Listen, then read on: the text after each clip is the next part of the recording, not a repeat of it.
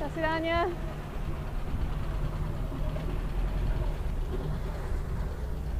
Wait for them to go and then I'll start.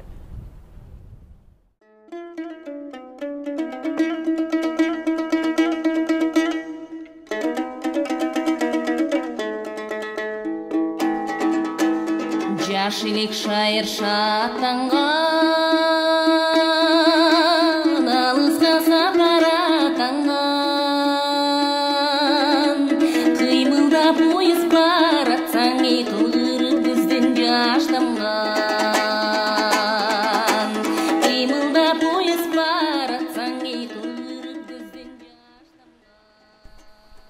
The biggest challenge is the word no. The world is full of no. We hear no every day. Sometimes we're even the ones saying it.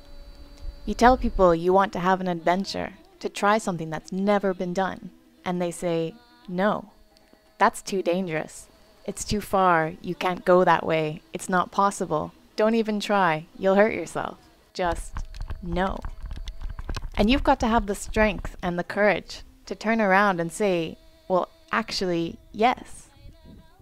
When I got to Kyrgyzstan, I was met with no everywhere I went. No one had done what I was trying to do, and so no one believed I could do it. But I decided to say yes to adventure. And this is the story.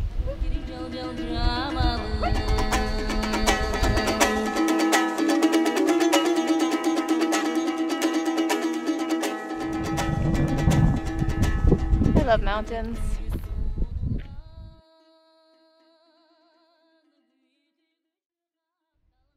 I still don't know how to answer people who ask me why I'm doing this. I didn't want to set a world record, and it's not about running a thousand kilometers either. The distance doesn't matter, as long as I make it across the country. I came here looking for a true adventure. I picked Kyrgyzstan because I didn't know anything about it, except that it has wicked mountains where nomads still live. I came here looking to push myself physically, mentally, and emotionally, and to explore one of the few unmapped regions left on this beautiful planet. It's exciting and also scary that no one has done this route before.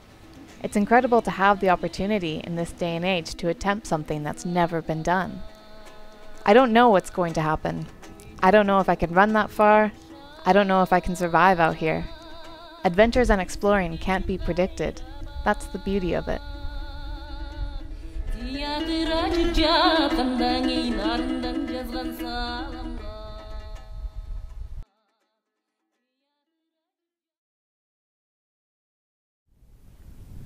Got to get up there. I've climbed 2,000, I'm brain dead, 1,500 meters so far today. Really struggling with this elevation.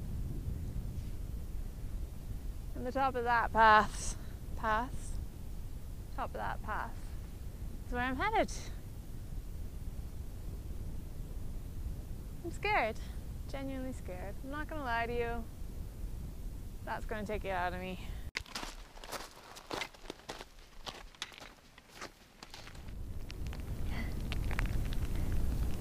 That was, without a doubt, the hardest climb I can ever remember doing. Oh shit. I couldn't look down over the last 500 meters of elevation because it was so steep, just crawling with my hands. But they say work for your views. Look at that. Look at where I am.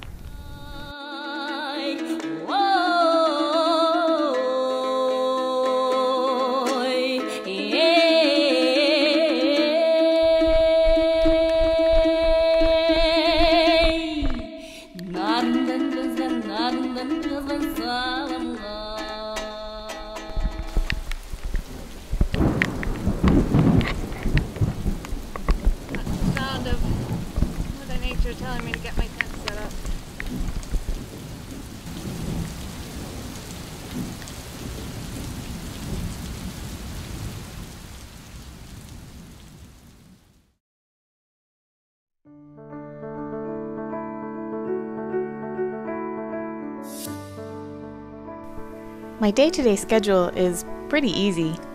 My to do list every day includes eating, finding water, finding a safe place to sleep, and hopefully running a little bit closer towards my goal. Big adventures sound thrilling and exciting, but the reality is that the day to day is fairly mundane and just filled with only the necessities to human existing, which feels really cleansing. It gives you a really good perspective on your comfortable life back home and what's really important, how you want to spend your time. Life is so busy. Out here it's hard, that's for sure, but it's also simple.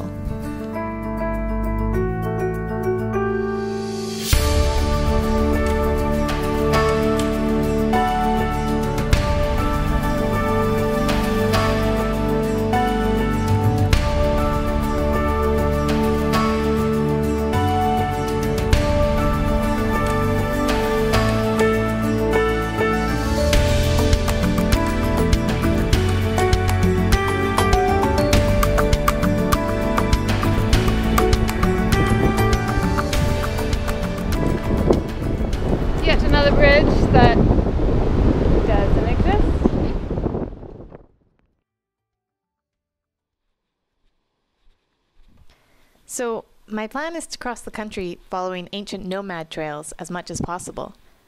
The problem with that is that they aren't mapped, so a lot of the time I'm guessing and hoping. Sometimes I find easy double track, and sometimes I get stuck and I have to decide to either turn around or just forge through. When I do come down to the roads, it's fair to say they're pretty interesting. A line in the map might make you believe that you'll be crossing a main highway, but you get there and it's practically rubble. Sometimes it's even washed away. My biggest problem so far has been with crossing rivers. Sometimes marked bridges just aren't there or were never completed, so it's hard to know if I'm going to get across or have to make a slightly dangerous river crossing by myself. But if I knew what would happen every day, why would I bother coming here? It's definitely an adventure. This is what happens to your legs when you decide to take your own route through the mountains. It stings.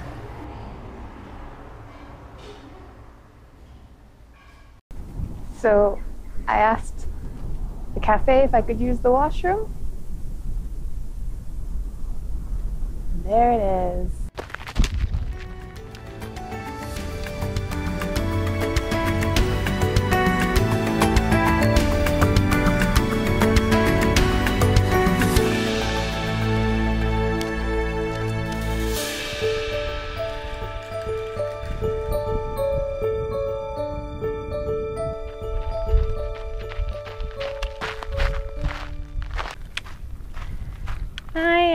Walking, which sucks. I ran out of water maybe an hour ago, and it's crazy hot today. So I'm trying to save energy, and I've come down to the road with the hopes of passing a magazine shop soon. And I'm just gonna buy all the juice, all the sugar. Uh, I'm really feeling it today.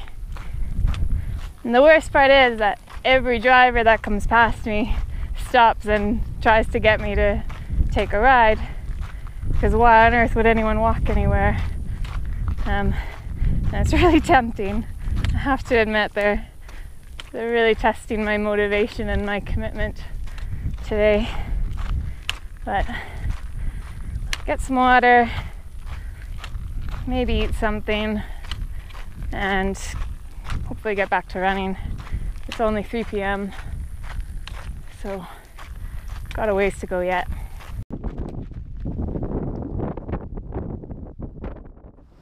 I've just had that shepherd come over and insist that I'm not safe here, that I'll be eaten by wolves. Um, of course, I don't speak Russian, so he mimed wolves for me, which was really exciting. Um, and insisted I come join them in their yurt, which is there. Um, I don't think I'll ever make it. Uh, he was hilarious and invited me to come drink kumis, which is uh, fermented horse's milk. So maybe I'll pay him a visit after I've had a wash. Um, I'm not particularly scared of wolves in this valley. I think there's a lot of livestock the wolves are going to take before they take me But maybe I won't sleep with my food right inside my tent. Пол, Санкул. на, а, потом на Рым. Мгм. До этого, да? Да, да. Вот, Арсланбад, Джалалабад, Ага. Ош. все закончить. Ош. А, All by. пеш- пешком, да? Да.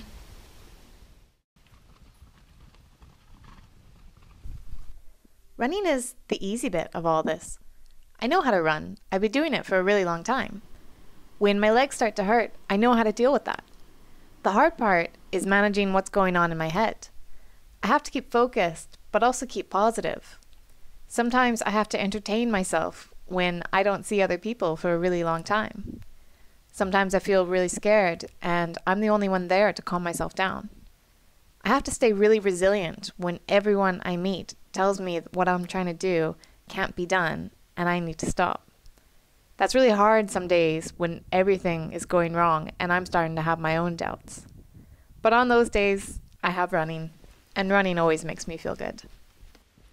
This is the best part. It's all downhill, and then just in the distance, I can see the next city where I get to resupply. And I have it on good authority that there's a pizza restaurant. So I'm going to take this downhill really fast because I'm so excited for pizza.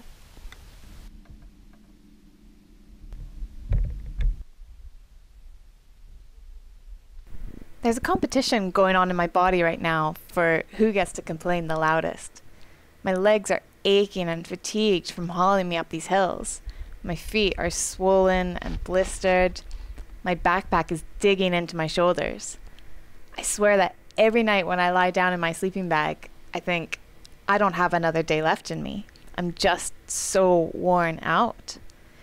And somehow I wake up in the morning and I'm ready to go again. It's pretty incredible what you can put the body through and it will cope.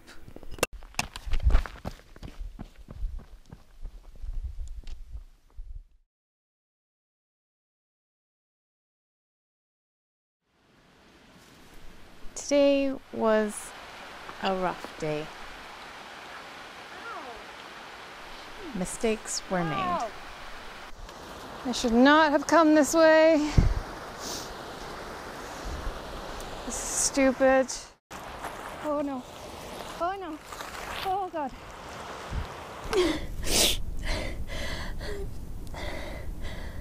I mean, now is the most scared I've ever felt. I I went down this valley and then it, it turned into a canyon and I knew that I couldn't continue. Just too much water and, and so I just had to climb hands and knees about 600 meters up a shale loose. I can't even bring myself to put the camera over the edge because I just can't look at it again. I really thought I was gonna die. This is so far from ideal. This isn't really fun right now. I just I just want to get somewhere safe and call my mom. God, I'm such an idiot.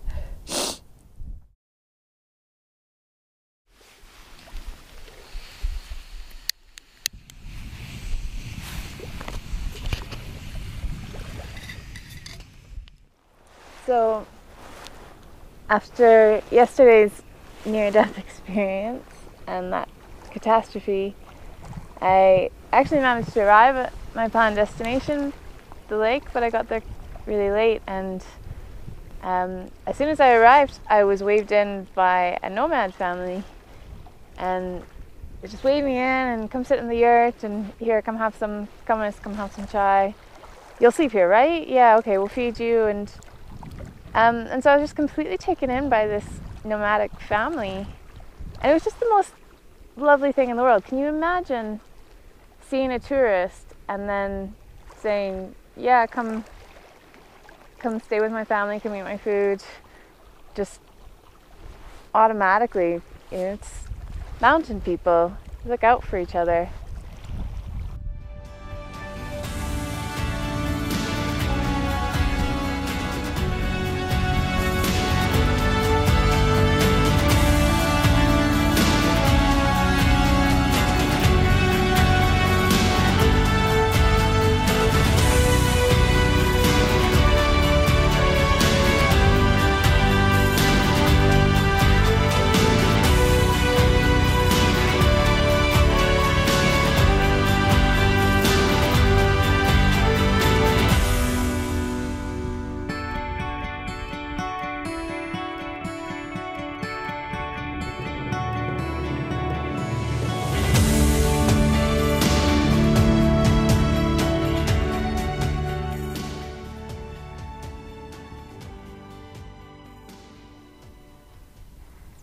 Time for a progress check.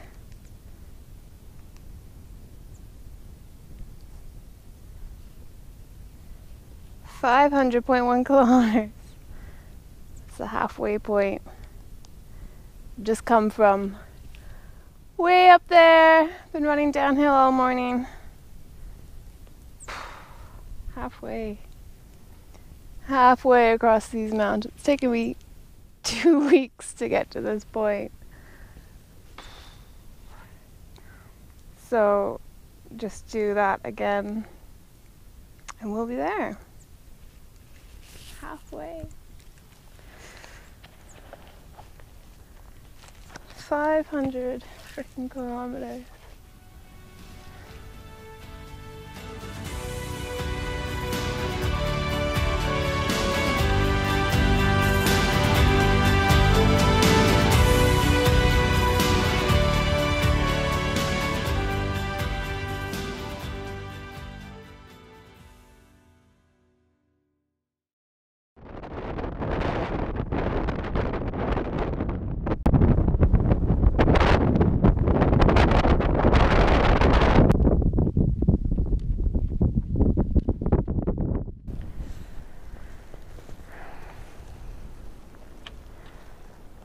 This is starting to be too much of a regular occurrence. I check the map and there's a stream, and then I get to the stream and the stream is long since gone. I think about water all the time, all the time, and this is pretty bad when I can't rely on the streams that are marked on the maps. Even though there's snow in the mountains, still you get to the bottom of the valley and there's nothing left. So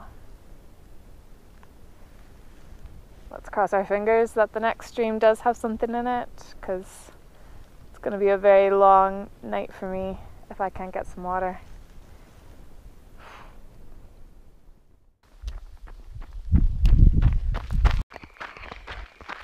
I'm running at night. I know I shouldn't be sunset kind of snuck up on me, and every river again was dry, so I couldn't get any water. Um, and I was only seven kilometers away from the next river. The only problem was there was a mountain pass in that seven kilometers. Um, so I've actually had a very enjoyable nighttime downhill run. Been going at a good clip. The stars are out. I'm not super warm for once. I'm actually at a good temperature. And yeah. I've got bad news. I'm gonna have to get rid of my tent.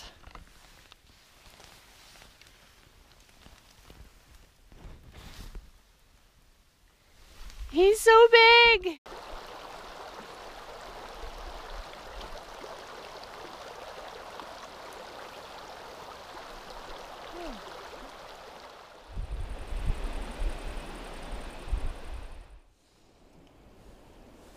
Spent the entire night throwing up. I feel really, really terrible today. I just really want to keep going, but I'm running on an empty stomach and I don't trust it. I feel really terrible. I do not feel well at all. I really can't trust my stomach anymore. I feel so weak and depleted. This heat. I'm in a very dark place today. I don't feel good.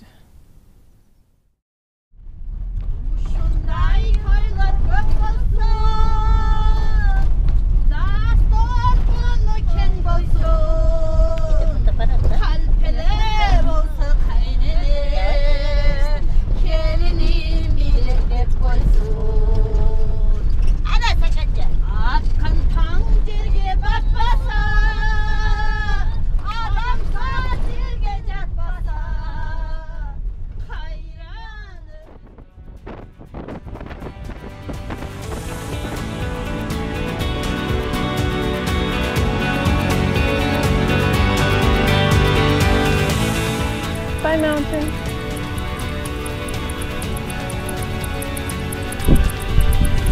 It's been a long trip so far.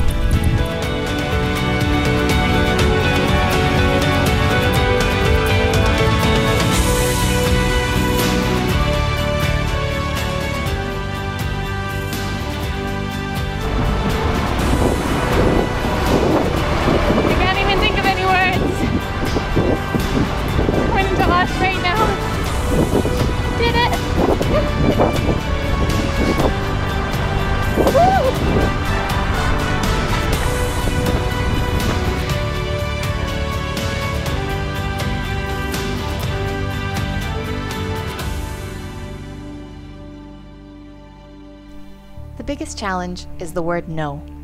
You hear it from friends, strangers, and most dangerously, you hear it from yourself. There's always a risk that it might not work. There's always a risk that it's going to be awful. But if you believe in yourself, if you can open your heart to experiences, if you can ignore the word no, you're going to have an adventure. And who could say no to adventure?